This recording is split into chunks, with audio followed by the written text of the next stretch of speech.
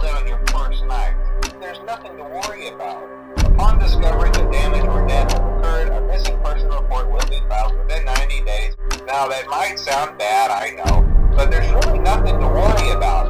Uh, the animatronic characters here do get a bit quirky at night, so just be aware, the characters do tend to wander a bit.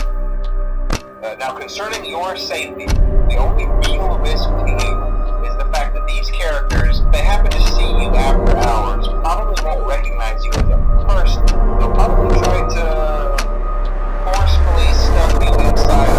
As their suit.